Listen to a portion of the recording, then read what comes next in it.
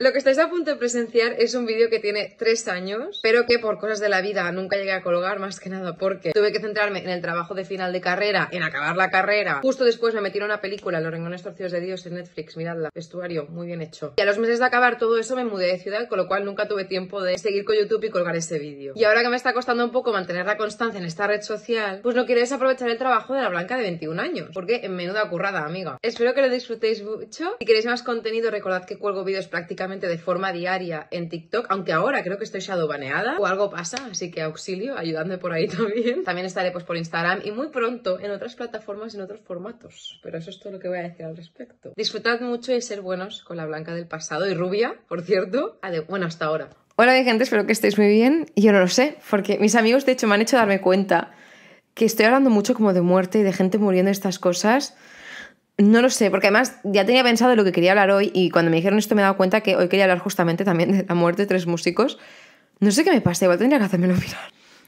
Es igual, vamos a empezar. En Clear Lake, en Iowa, el 3 de febrero de 1959, tres músicos, Richie Valens, que es el de la bamba, J.P. Richardson, conocido como Big Bopper, y Buddy Holly se subieron a un avión para evitar una tormenta de hielo.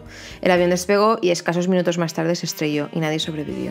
Este día sería conocido como el día que la música murió o The Day That Music Died. Buddy Holly empezaba su gira The Winter Dance Party Tour tras separarse de su banda llamada The Crickets, que por cierto se llaman así porque una de las cintas que hicieron en el, garaje de Buddy Holly se coló un sonido de Crickets y entonces para hacer referencia a eso eh, la banda se iba a poner o The Beatles o The Crickets. Y en los años 60, una banda que quizás os suena, eh, que es The Beatles, cogieron este nombre pues para hacer como homenaje a Buddy Holly and The Crickets. Pero bueno. It's a goddamn cricket. Yeah, it's a cricket. it's right over here. Woody Hall en particular hizo este tour porque necesitaba dinero. Por una parte, el manager de Cricket se había robado dinero y además también quería mudarse a Nueva York con su mujer, que se llama Maria Ellen Holly, que estaba esperando su primer hijo. Así que reunió como una banda que consistía de Waylon Jennings como bajista, Tony Alsop como guitarrista y Carl Bunch como baterista y además en algunas fechas le acompañaban eh, otros músicos para, para pues, promocionar su, su, música. Se ve que al Winter Dance Party Tour ya le llamaban eh, The Tour from Hell, es decir, el, el, Tour del Infierno, por los diferentes accidentes, contratiempos y situaciones que tuvieron. Para empezar, hicieron la ruta como les sería el Arco del Triunfo. De hecho, el, el historiador de Woody Holly, que se llama Bill Griggs, dice que les daba realmente igual, o sea, que era como si hicieran la ruta como, como tirando un dardo a un mapa. Empezaron el 23 de enero en Milwaukee, en Wisconsin, hicieron ruta en forma de zigzag y haciendo trombos para arriba, para abajo, entre Minnesota, Iowa y y, Wisconsin sin importarles nada el tema de la logística. Los músicos y el equipo viajaban en autobuses de colegio reacondicionados, es decir, aquellos autobuses que los colegios no querían, además no había calefacción y era enero en Wisconsin, o sea, debería hacer más frío que la comunión de Pingu, y conducían por unas carreteras llenas de hielo con unas ruedas que no pasaban la ITV para nada. O sea, y esto pues fue pasando factura y fue cargando. Calculan, por ejemplo, que en los primeros 11 días de tour tuvieron que usar 5 autobuses. El guitarrista de Buddy Holly, Tommy Alsop, recuerda una vez que el autobús en una subida empezó a ir cada vez más lento, las luces se fueron apagando y se paró en seco y el conductor dijo que es que el autobús se había congelado. Así que lo único que les quedó fue mm, dormir acurrucados en unas mantas, hacer fuego en el pasillo del autobús, que digo, genial idea, ¿eh? Y pues pasaron la noche pues tomando chupitos y haciendo la cucharita. Carl Bunch, que era el baterista de Buddy Holly, se le congelaron tanto los pies que tuvo que ser hospitalizado y no pudo tocar en la siguiente fecha, que sería el último concierto de Buddy Holly sin ellos saberlos. Y en el caso de Richardson y Valens, eh, pues cogieron una gripe de la parra. O sea, se encontraban fatal. Y no me extraña, ¿eh? tú imagínate, yo me muero. Tampoco tenía mucho equipo y mucha ayuda alrededor, es decir, después de 12 horas prácticamente diarias sin parar en el autobús, tenían que bajar el equipo, montarlo, hacer el concierto, desmontar el equipo y volverlo a subir ellos solos con unas temperaturas entre menos 7 y menos 38 grados. Bueno, ahora, ahora realmente lo agradeceríamos, ¿eh? Con el cambio climático. It was so cold, uh, I wrote this song on the bus. We used to all sing it. Tearing down the highway, look at all that ice and snow. Yeah, I'm getting ready, baby, I'm another show. I'm gonna hug my radiator when I hit my hotel room. Ah, nothing really matters when you're riding on a broken down bus. All I got is you,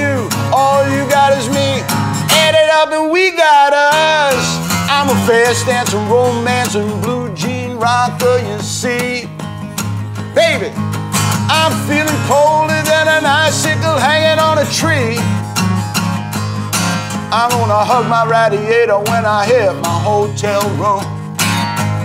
hug my radiator when I am my hotel room.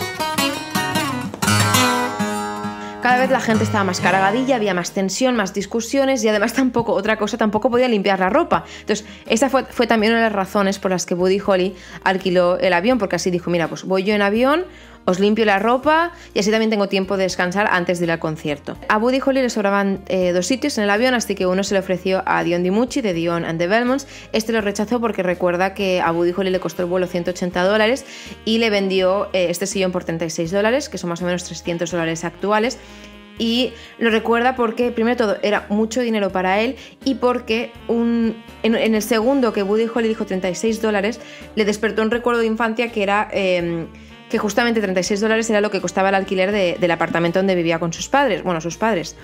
Y dice que discutieron toda la vida sobre esos dichosos 36 dólares, así que finalmente después de ese recuerdo que tuvo, porque además para él era mucha pasta, rechazó, rechazó la oferta de Buddy Holly. Así que a Buddy Holly aún le faltaban dos sitios que ocupar en el avión.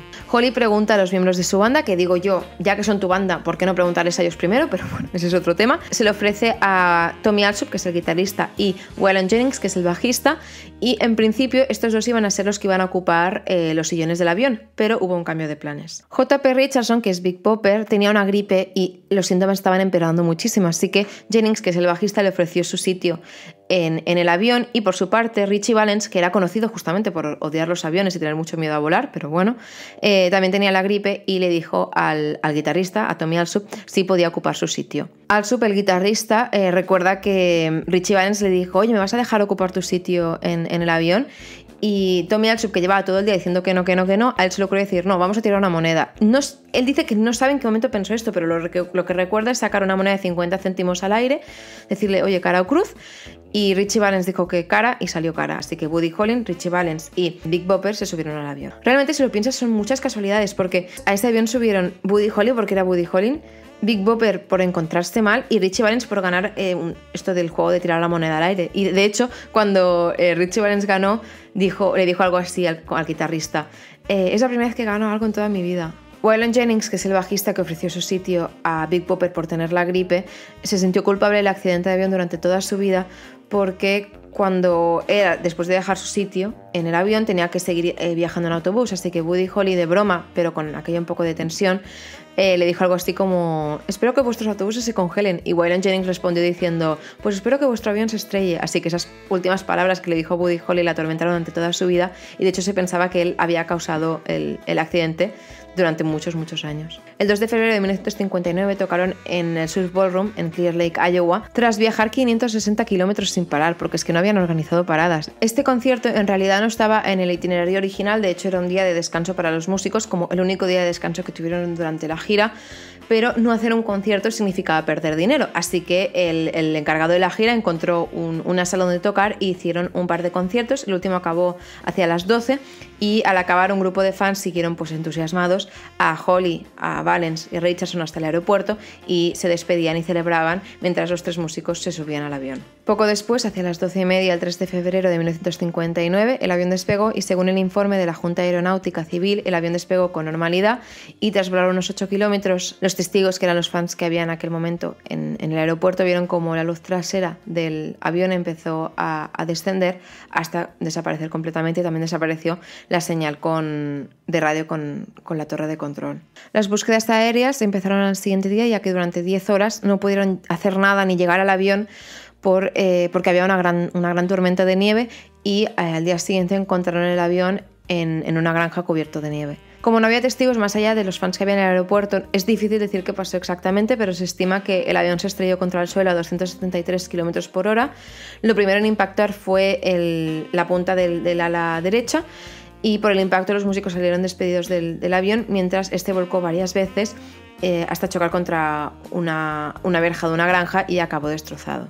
El accidente el impacto fue tan bestia que los equipos de emergencia encontraron piezas del avión hasta 160 metros de distancia. A Buddy Holly y a Richie Valens se los encontraron a 5 metros del avión y a JP Richardson, que era Big Bopper, a unos 12 metros. Y eh, el piloto del avión se lo encontró pues, en, el fuselaje del avión que se había enredado con, supongo algunos cables o, o algunos, algunas partículas del avión. Se cree que todos murieron en el impacto y el informe indica que el piloto, que era Roger Patterson, que en aquel momento tenía 21 años, no tenía la experiencia suficiente como para pilotar en esas condiciones condiciones de tormenta de nieve. El informe también dice que no hubo ningún fallo mecánico ni en el motor, además el tren de aterrizaje continuaba en su posición, con lo cual los expertos indican que la causa del, del accidente fue la inexperiencia del piloto. Tampoco hay evidencias de que se le informara a Peterson sobre las condiciones meteorológicas que había en aquel momento, que además Estados Unidos había hecho dos avisos sobre la tormenta de, nieve que, que, se les avecinaba y que dificultaría eh, la visibilidad. También se teoriza que quizás tuvo dificultades con entender el mecanismo del giroscopio porque eh, iba al contrario que en otros aviones. El giroscopio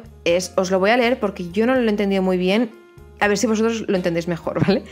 El giroscopio es un dispositivo mecánico que sirve para medir, mantener o cambiar la orientación en el espacio de algún aparato o vehículo. Y se ve que también lo tienen los, móviles. Así que si Peterson no veía el horizonte porque era de noche y había mucha nieve, puede ser que solo se fiase del giroscopio. El giroscopio, como iba al revés, igual estaba indicando que estaba ascendiendo y él en realidad estaba descendiendo y yendo a 273 km por hora hacia el suelo. Este evento ha sido pues, inspiración de muchas películas, canciones, se han erguido estatuas y de hecho en Clear Lake, en, en, el último concierto de Woody Holly, se hace un concierto anual conmemorativo en el Sur Ballroom, que es la última sala de conciertos donde Woody Holly tocó. Este evento dejó en shock a todo el mundo porque primero eran estrellas de, de la música muy famosas y además es una forma de morir tanto muy joven como de forma muy inesperada.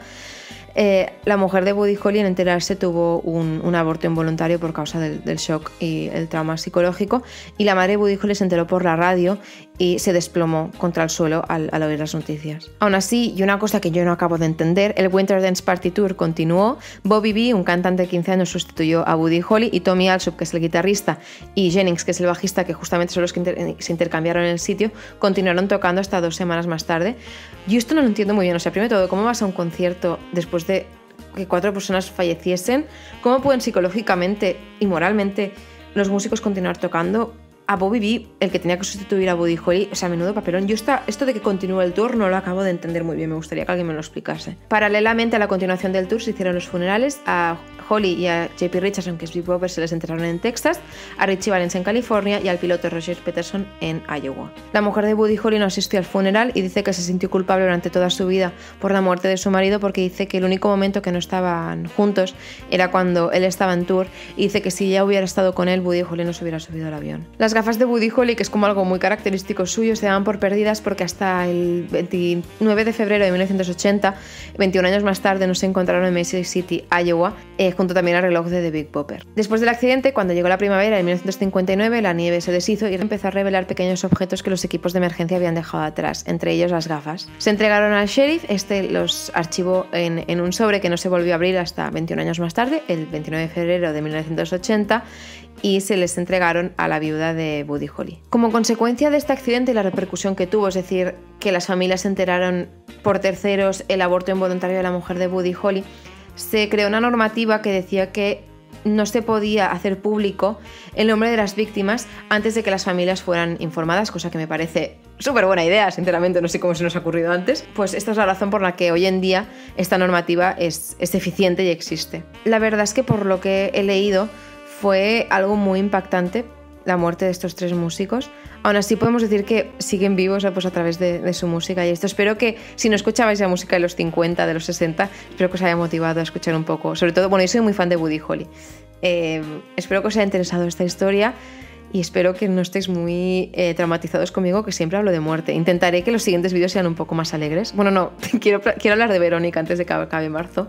Pero bueno, la, la, semana que viene os cantaré, porque como tengo que rodar el TFG y no tendré mucho tiempo de hacer un vídeo tan, tan elaborado como, como estos que os hago, eh, creo que os cantaré que combinemos un poco más alegre, ¿no? No sé. Bueno, espero que os haya gustado el vídeo, os haya interesado y nos vemos la semana que viene. Adiós.